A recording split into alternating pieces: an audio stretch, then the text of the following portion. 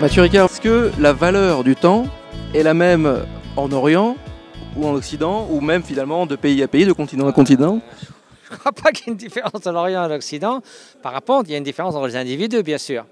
Ah, le temps peut être euh, une sorte de nous filer entre les doigts comme du sable entre les mains, et n'avoir qu'une sorte de valeur. Euh, on s'aperçoit brusquement qu'une partie de la vie est passée et on se dit à quoi l'ai-je utilisé Et le temps peut être un, flot d'or fondu où chaque moment est précieux. Euh, notamment dans la vie contemplative, euh, si vous êtes un ermite dans la montagne, chaque moment est, incroyablement précieux parce qu'il sert à une transformation intérieure qui ensuite vous permet de mieux vous mettre au service des autres. Euh, donc, Sénèque disait aussi, ce n'est pas que nous ayons peu de temps, c'est que nous en gaspillons beaucoup. Donc je vois que le principal problème du temps dans notre monde contemporain, c'est le gaspillage.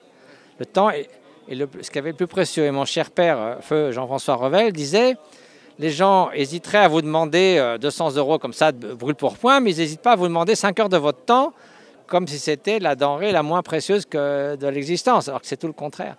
Moi, ça m'arriverait presque de vouloir donner, à faire un cadeau à quelqu'un pour qu'il me laisse mon temps, pour que je puisse l'utiliser d'une manière que j'estime être euh, la plus utile.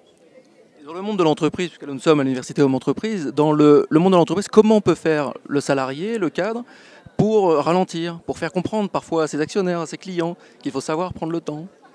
Bah, C'est un point de vue toute une question d'équilibre. Je me rappelle une phrase de JP Morgan, moi je suis pas spécialiste d'économie, qui disait Je peux faire en 10 mois le travail d'une année, mais je ne pourrais pas le faire en 12 mois. C'est-à-dire qu'il faut se donner le temps aussi de, de, se, de se ressourcer, de, de trouver, euh, de, de, cultiver une certaine vision de l'existence. je ne sais pas ce qu'il en a fait lui, mais c'est certain que si par exemple on se consacrait un peu à l'entraînement de l'esprit, à cultiver les valeurs intérieures 30 minutes par jour, comme on fait de l'exercice physique, et que ça modifie la qualité des 30 heures, des 23 heures et 30 minutes qui restent dans la journée, y compris le sommeil et toutes nos relations avec les autres, on voit que ça vaut la peine.